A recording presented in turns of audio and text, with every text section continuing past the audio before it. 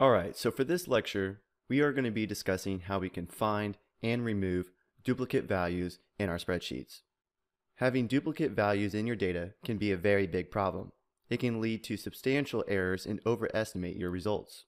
So it's always a good idea to double check and see if there's duplicated values within your data so you can ensure that you have an accurate report. The good news is finding and removing duplicate values is actually quite easy in Excel. If your data is formatted as a table, all you have to do is click anywhere inside your table, go up to the Table Design tab, and then within the Tools group, we can select Remove Duplicates. And then our Remove Duplicates window pops up, and we can select the columns that we want to search for duplicates in. Now this table doesn't have a really good example to show duplicate values, so what I'm going to do is cancel out of this, and instead, we are going to be working inside the Employee Data Sheet. So let's go back down to our Sheet tabs and select Employee Data. So when we are searching for duplicate values, we want to look in columns that have unique identifiers. And if we take a look at our data here, which columns do you think would have unique values? Well, the employee ID number should be unique to that one employee. So no employee should share the same ID number. So that could be a unique identifier. Another unique identifier could be the phone number. Every employee should have their own phone number. But for this example, let's work inside the employee ID column.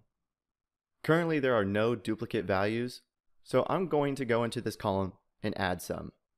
So instead of employee number 1013, I will change this to 1012 to make a duplicate value. And then maybe down here at 1024, I'll change it to 1023. So now we know we have some duplicate values.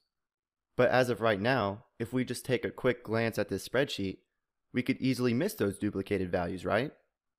So to remove these values, we can click any cell within our data, and on this sheet, our data is not formatted as a table. So instead, we have to go up to the Data tab, and in the Data Tools group, we can select Remove Duplicates. Then Excel's going to ask us which columns that we want to look for duplicates in. So I'm going to unselect all the checkboxes and just check the Employee ID column. And if I click OK, Excel says that two duplicate values were found and 46 unique values remain. I'm going to click OK. And if we take a look at our data set again, now we only have one 1012 and only one 1023. But using that method, we are just blindly deleting duplicate values without knowing exactly what we're deleting.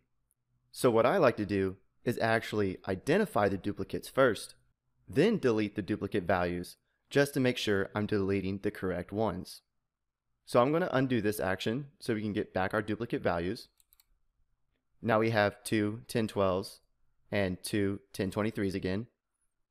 Now this time, what I'm going to do is select the entire column, come up to the Home tab, click the Conditional Formatting button, select Highlight Cells Rules, and then click Duplicate Values. Then Excel asks us how we want to format our duplicate values. Well, we want to format a light red fill with a dark red text. We can change this, but that looks good for now. And we can click OK.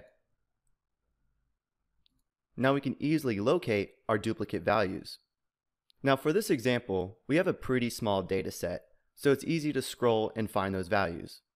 But if we had hundreds of thousands of rows, it would take some time to scroll through and look for those formatted cells.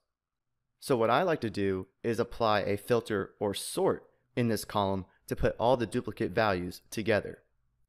So to do that, we need to make sure that we have a cell selected within the column, come up to the Data tab, and select the Filter button. Now we can click this drop-down arrow, and then from here, we have two options. We can either filter by color, where we can only view the cells that have a light red background color, so if we select this format, now we only see these duplicated values, or we can sort by the formatted cells and place them at the top. So if I clear that filter, click this drop down again, and click Sort by Color, choose the light red color. Now our duplicated values are at the top of our list. And then from here, we can make the necessary changes to get the correct employee ID number. For example, if I change Melissa to 1013, now those cells become unhighlighted because there's no duplicated values.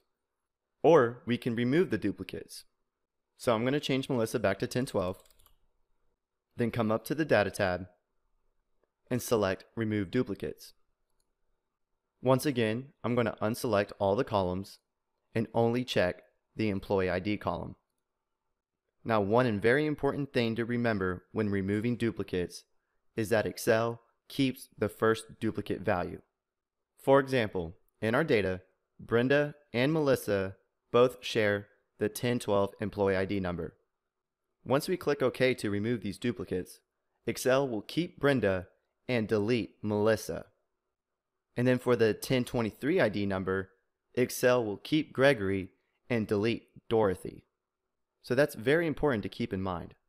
Let's see what happens.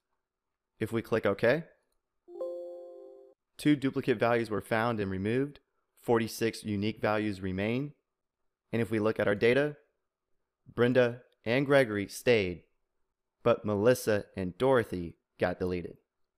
So even though removing duplicate values in Excel is fairly easy and provides a more accurate report, we have to be cautious and make sure we are deleting the correct duplicate values. Because if we accidentally remove the wrong duplicates, that could lead to an inaccurate report as well.